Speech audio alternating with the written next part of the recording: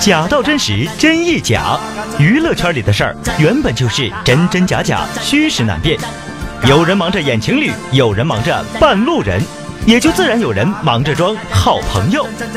眼下刚结束的上海电视节，杨幂、刘诗诗就姐妹情深了一把。自拍摄《仙剑三》以来，便以闺蜜自居。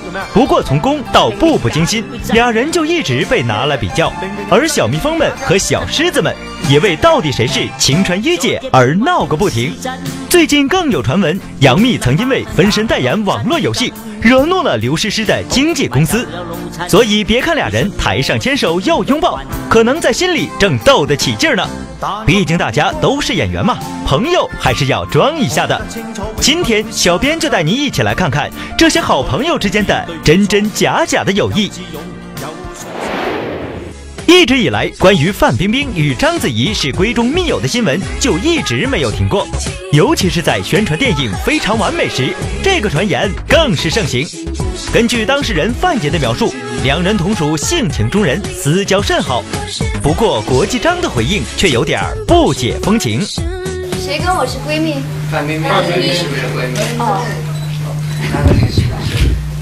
电影里面肯定不是了，生活生活当中其实拍戏的时候交流挺多的，然后拍完戏，我想冰冰也忙吧，然后我也到处飞，呃，交流也不是那么多。原本两人当不成闺蜜也不算什么大事儿，但随后两人关系的发展却让人跌破眼镜。两人在同上某综艺节目时，现场的气氛着实是十分诡异。没被人抢过男朋友哈，被冰冰抢一个。所以她太合适了，我演的是章子怡，章子怡一定要记住。我天哪，谁敢娶这女人？虽然很累，比如说冰冰说她愿，但是我觉得这是一种，就是你你有一个空间，你去，哎，那你就快点生个小孩吧。什么呀都？可以，他那个是完全可以控制的，对吗？你想让他干嘛他就干嘛。对你生个小孩，这小孩才不能。不仅如此。最近就有传言，章子怡之所以深陷陪睡门，幕后黑手就是范冰冰。看来做不成恋人，容易成仇人；这成不了闺蜜，也容易成仇人呐。不得不说，范爷在圈里的闺蜜还真不少。不过这些闺蜜大部分都是媒体给她安排的，除了章子以外，李冰冰也是其中一个。然后我在，我也看到她在红毯上的表现，我觉得她非常棒。她每一次的红毯都给我们留下了深刻的印象。两个冰冰现在在娱乐圈里是风头正劲，江湖上也飘着各种关于他俩的传说。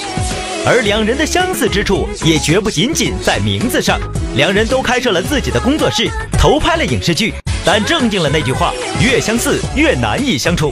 两人不仅在公开场合多次撞衫，而且在戛纳红毯上的表现也经常拿来做比较。我们是一，我们两个也是一对老同，永远要想着对方。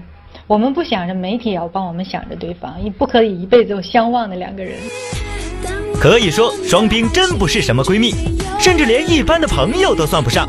可是为了广大网友，为了八卦媒体，他们俩可一定要把闺蜜的角色演好啊！今年年初那起沸沸扬扬的印小天打人事件，让小编明白了一个道理，那就是不光女人靠不住，就连兄弟也靠不住。在印小天打人事件闹得最凶的时候，平时和印小天称兄道弟的一干朋友，单凭一面之词就已经急不可耐地为取悦女人而插上兄弟两刀，这也促成了插刀教的成立。而作为教主的杜淳，在印小天打人事件中，也是让小编替他的兄弟寒心了一把。在拍摄电视剧《南下》的时候，杜淳跟印小天整天称兄道弟，两人一起喝酒，一起把妹，甚至连印小天玩偷菜都是杜淳带的。在印小天的百度百科中，圈中好友排名第一的也是杜淳。而就是这样的兄弟，在自己朋友出事之后，竟然不明真相就带头声讨，甚至在微博回复中写下“他泡妞不成就打人”这样的评论，让人不禁感慨：都说男人不靠谱，可这也太不靠谱了吧！大 S 跟安以轩原本是关系非常好的闺蜜，可是这些随着汪小菲的介入而发生了变化。在安以轩介绍大 S 跟汪小菲认识的两个月后。大小恋就修成了正果，宣布了婚讯。而据悉，安以轩也一直暗恋汪小菲，但没想到被大 S 快很准的先下手为强了，这也让安以轩感到格外的愤怒。从红娘到被遗弃到伴娘，我也不知道我的身份是什么，然后我自己也很迷茫，但是我真的没有收到邀请当他的伴娘。对，那我不知道他最后到底会是让我站在红娘，还是伴娘，还是情敌，还是哪个位置上？对我可能好好问一下艾伦他们。随着安以轩的位置由红娘变为伴娘，再变为情敌，大 S 和安以轩这对姐妹私下也似乎彻底的走向了决裂。而决裂后的安以轩在公开场合嘲讽了大 S。那当然，那当然，甜蜜到不行，就是整个嘴角上扬，打打肉你感觉不会下来。所以说，女同胞们，没事儿别把自己心仪的男子介绍给闺蜜认识。男人没了不说，就连闺蜜也没了。在演艺圈要交到一个很好的朋友是一件很难得的事情，嗯，尤其是在还没当出道的时候，我们就认识了，到现在，认识也差不多十年的时间。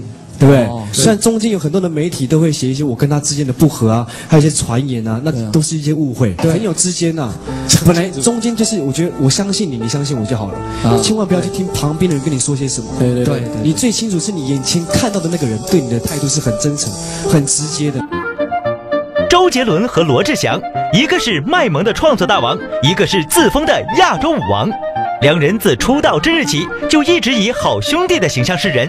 但随着蔡依林的介入，两人也从此大道通天，各走一边。虽然心里不和，但面上也一直没有什么过激的言语。不过最近又有一个女人的介入，让这两个昔日的好兄弟再次撕破了脸皮。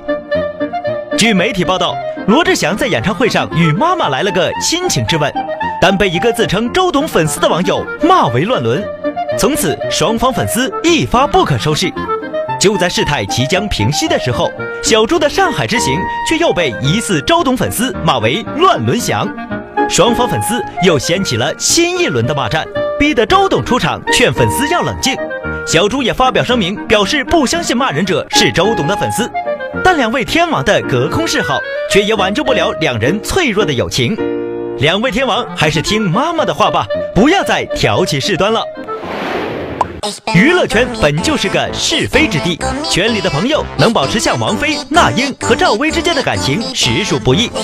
至于明星之间真真假假的友谊，对于我们来说也只是谈资吧。不过还是呼吁大家多一份真正的友情，毕竟千里难寻是朋友，朋友多了路好走。